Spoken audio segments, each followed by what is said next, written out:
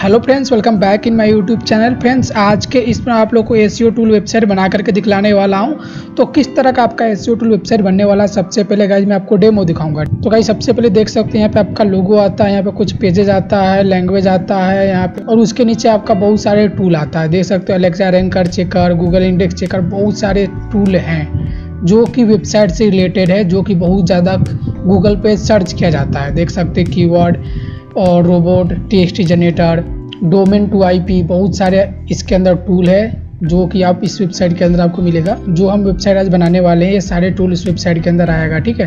इसके अंदर ऐड भी लगा सकते हैं गूगल एडसेंस का अप्रूवल भी आपको इसके अंदर इजीली मिल जाएगा और एडसेंस के थ्रू आप इसके अंदर अर्निंग कर सकते हो इस एस टूल वेबसाइट से। तो देख सकते हो बहुत सारे अलग अलग जगह पे एड्स लगाने का ऑप्शन गाइज़ मिल जाता है और वेबसाइट का फूटर कुछ इस तरह का आपका एरिया मिलता है, ठीक है? तो गूगल में इस तरह का वेबसाइट रैंक करेगा, बहुत ही ज़्यादा सर्च किया जाता है। तो यहाँ पे हम कुछ भी एक ओपन कर लेते हैं, जैसे कि रोबोट टी जनरेटर तो यहाँ पे देख सकते पेज ओपन होता है। इसी तरह से बहुत सारे टूल है जो भी टूल को यूज़र यूज़ करना चाहता है यूज़ कर सकता है। देखिए एडसेंस कैलकुलेटर ये सारे टूल हैं। डोमेन एज चेकर ये सभी टूल हैं। तो यहाँ पे डोमेन नेम डालेगा तो उसका एज चेक हो जाएगा। उसी तरह से बहुत सारे टूल है। तो गाइस इस वेबसाइट का लिंक हम डिस्क्रिप्शन में दे देंगे। इस वेबसाइट का आप डेमो चेक कर सकते हो। तो फ्रेंड्स इस वेबसाइट का आपको एक पावरफुल एडमिन पेज मिलता है, जहाँ से आप पूरा कंट्रोल करते हो। आप अपने एस टूल वेबसाइट को। तो यहाँ पे डैशबोर्ड सबसे पहले मिलता है डैशबोर्ड का डैशबोर्ड के अंदर टूडे विजिटर मिल जाएगा week last all time visitor सब दिख जाएगा। और कौन सा टूल सबसे ज़्यादा यूज़ किया गया वो दिखेगा न्यू यूज़र कौन है, वो भी यहाँ पे दिख जाएगा आपको। पोस्ट भी डाल सकते इसके अंदर। पेजेस को मैनेज कर सकते हैं टूल को यहाँ पे मैनेज कर सकते हैं। सीटिंग कब से मिलता है user recent history report cache site map about update okay ये सारे ऑप्शन आपको गाइज़ इसके अंदर मिल जाते हैं एडमिन पैल के अंदर। और ऐड भी लगा सकते हो सीटिंग के अंदर, जा सकते हो। सीटिंग के अंदर आपको एडवर्टाइजमेंट का ऑप्शन मिलता है।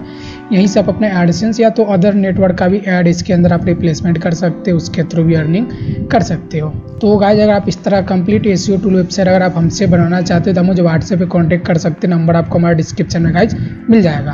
तो गाइज़ अगर आप इस तरह का वेबसाइट खुद से बनाना चाहते हो तो आपको इसका स्क्रिप्ट डाउनलोड करना होगा, जो कि प्रीमियम स्क्रिप्ट है। इस तरह का एस टूल वेबसाइट बनाने के लिए आपका डोमेन होस्टिंग एंड स्क्रिप्ट का ज़रूरत पड़ेगा, ठीक है? तो स्क्रिप्ट भी है हमारे पास डोमेन होस्टिंग भी है। तो स्क्रिप्ट मैंने सीपीएल के अंदर अपलोड कर दिया, उसको मैं एक्सट्रैक्ट फ़ाइल करता हूँ, यहाँ पे राइट क्लिक करके।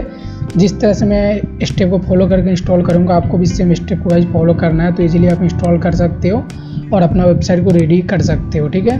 उसके बाद अपना ब्राउज़र के अंदर अपना डोमेन ओपन करेंगे गाइज़ उसके बाद कुछ इस तरह का वेलकम पेज ओपन होगा यहाँ पे आपको लेट शो पे क्लिक कर देना है। तो गाइज़ यहाँ पे देख सकते हो सब कुछ ग्रीन ग्रीन हमारे पास शो कर रहा है। बट अगर आपको ऐसे रेड शो करता है तो, तो आप हमें कमेंट कर सकते हो मैं आपको ज़रूर रिप्लाई करूँगा ठीक है? उसका कंटिन्यू पे हम क्लिक कर देंगे। उसके बाद यहाँ पे आपको परचेज कोड डालना है, उसके आपको डाटाबेस बना करके डिटेल्स गाइज़ फिल करना है। तो उसके लिए आपको अपने सीपीएल के अंदर जाना होगा डाटाबेस सेक्शन के अंदर। डाटाबेस सेक्शन देख सकते हो, हमारा डाटाबेस सेक्शन है। डाटाबेस सेक्शन आने के बाद यहाँ पे पी एच पी माई एस पी डाई के अंदर आपको गाइज़ क्लिक कर देना है। तो मैंने यहाँ पे डाटाबेस का नाम दे दिया एस टूल उसका नेक्स्ट स्टेप पे गाइज़ मैं क्लिक कर देता हूँ। यूज़र नेम भी हम सेम दे देते हैं। आप अलग अलग आप चाहो तो दे सकते हो डाटाबेस नेम ओके उसके पासवर्ड यहाँ से आपको जनरेट कर लेना है। और पासवर्ड को उसके बाद आपको कॉपी कर लेना, जो भी आप पासवर्ड जनरेट करते हैं। और दोनों बॉक्स के अंदर आपको सिंपली पेस्ट कर देना है। एंड क्रिएट यूज़र पे गाइज़ क्लिक कर देना है। उसके एल परमिशन देना है। नेक्स्ट स्टेप पे गाइज़ आपको यहाँ पे क्लिक कर देना है। उसके बाद यहाँ पे डाटाबेस का पासवर्ड हम डालेंगे कुछ इस तरह से। उसके डाटाबेस का हम जो नेम है, वो हम डालेंगे डाटाबेस नेम यहाँ पे इस तरह से पेस्ट कर देंगे। यूज़र नेम हमारा सेम है। वो भी पेस्ट कर देंगे। तो गाइज़ यहाँ पे डाटाबेस का डिटेल्स डाल दिया है। और यहाँ पे वो परचेज को डालने के बाद आपको सेव चेंज पे गाइज़ क्लिक कर देना है। तो चलिए मैं यहाँ पे सेव चेंज पे क्लिक कर देता हूँ। उसका सेव चेंज पे क्लिक करेंगे, उसके आपको कंटिन्यू पे क्लिक करना होगा। उसका आपको एडमिन पेल का यूज़र पासवर्ड क्रिएट करना होगा। यूज़र पासवर्ड आप सही अपना डालना। यहाँ पे जो भी आप ईमेल आईडी पासवर्ड डालते हो, वही ईमेल आईडी पासवर्ड से अपना एडमिन पे लॉगिन करोगे। तो सही सही अपना ईमेल आईडी पासवर्ड आपको डिटेल्स यहाँ पे डाल देना है और याद करके रखना है पासवर्ड ठीक है? तो यहाँ पे अपना ईमेल आईडी पासवर्ड हम डाल देते हैं, उसका कंटिन्यू पे हम यहाँ पे क्लिक कर देंगे। तो ईमेल आईडी पासवर्ड करेक्ट डालने के बाद कंटिन्यू पे मैं क्लिक कर देता हूँ। उसके बाद भी आपको कंटिन्यू का ऑप्शन मिलेगा क्लिक कर देना है। तो देख सकते हो यहाँ पे हमारा इंस्टॉलेशन सक्सेसफुली हो चुका है। व्यू योर वेबसाइट पे आपको क्लिक कर देना है। तो गाइज़ यहाँ पे आप देख सकते हैं हमारे डोमेन नेम के ऊपर हमारा S tool website complete live हो चुका है। ऊपर से नीचे तक मैं आपको स्क्रॉल करके दिखा देता हूँ। जिस तरह से मैंने आपको डेमो के अंदर वेबसाइट दिखाया था सेम उसी तरह का हमारा वेबसाइट लाइव हो चुका है। ठीक है, यहाँ पे हम कोई भी पेज ओपन करके भी आपको दिखा देते हैं। देखिए, यहाँ पे पेज भी ओपन हो चुका है टूल भी ओपन हो चुका है। यहाँ पे कोई और टूल भी ओपन हम आपको करके दिखा देते हैं। तो ये भी हमारा टूल ओपन हो चुका है। तो गाइज़ हमारा साइट रेडी हो चुका है। उसके बाद गाइज़ आपको लॉगिन पे क्लिक करना है, अपने एडमिन पे लॉगिन करना है। तो एडमिन पे का भी जो आपने यूज़र पासवर्ड डायल किया था, वही आपको डायल करके टाइप करके आपको लॉगिन पे गाइज़ क्लिक कर देना है। तो गाइज़ मैं यहाँ पे लॉगिन कर चुका हूँ। यहाँ पे आपको प्रोफ़ाइल पे क्लिक करना है एडमिन डैशबोर्ड पे क्लिक करना है। तो गाइज़ आपका एडमिन पे ओपन हो जाएगा। उसके बाद इसके अंदर गाइज़ सेटिंग वगैरह करना होगा तो सेटिंग के अंदर जनरल सेटिंग के अंदर आपको जाना है। और उसका सबसे पहले अपना जो भी आपका साइट का इमेज वगैरह चेंज कर सकते हो कलर भी यहाँ से चेंज कर सकते हो और इनेबल डिसेबल कर सकते हो फीचर्स को, ठीक है? और सोशल मीडिया यू आप नीचे डाल सकते हो। उसका हेडर का ऑप्शन आता है हेडर के अंदर भी आप डाल सकते हो लोगो वगैरह, फेविकॉन। फूटर के अंदर भी जो फूटर के अंदर आता है, वो सब डाल सकते हो। यहाँ पे अलग अलग देख सकते हो लैंग्वेज आ रहा है। उसका मेनू के अंदर जो भी मेनू से रिलेटेड चेंजेज वो कर सकते हो slider G D P R advertisement यहीं से गाइज़ लगा सकते हो, देख सकते हो। एड्स यूनिट डालने का ऑप्शन दिया गया है।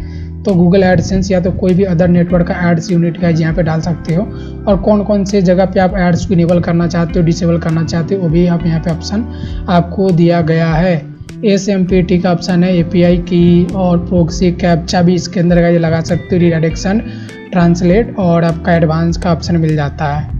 एडवांस के अंदर आप कोड डाल सकते हो हेडर फोटर का एडिशनल उसका आपको यूज़र दिख जाएगा, कितना यूज़र है यहाँ पे। ओके उसका आपको रिसेंट हिस्ट्री सब आप देख सकते हो साइड में जनरेट कर सकते हैं अपडेट कर सकते हो। और पासवर्ड वगैरह आप प्रोफ़ाइल के अंदर जा करके चेंजेज कर सकते हो अपना। यहाँ पे आपको चेंज पासवर्ड का ऑप्शन मिलता है अपडेट प्रोफ़ाइल का भी ऑप्शन मिलता है। तो प्रोफ़ाइल का भी अपना नाम वगैरह email ID social media account सब आप टाइप कर सकते हैं सही सही और सेव कर सकते हो। तो क्या ये सारा ऑप्शन मिल जाता है आपको एस टूल वेबसाइट के अंदर। आई होप कि आपको वीडियो देख करके आप अपना एस टूल वेबसाइट गाइज़ बना चुके होंगे। तो कोई भी प्रॉब्लम आता है बनाने में तो वीडियो के नीचे आप कमेंट कर सकते हो। आप हमारे चैनल को सब्सक्राइब कर सकते हो एंड इस वीडियो को लाइक कर सकते हो। आप चाहे तो हमारे टेलीग्राम चैनल को ज्वाइन कर सकते हो। टेलीग्राम चैनल पर स्किप थीम प्लगइन शॉर्ट्स को प्रीमियम प्रोवाइड करते हैं तो डिस्क्रिप्शन में लिंक मिल जाएगा। आप ज्वाइन कर सकते हो। Okay friends thank you so much and bye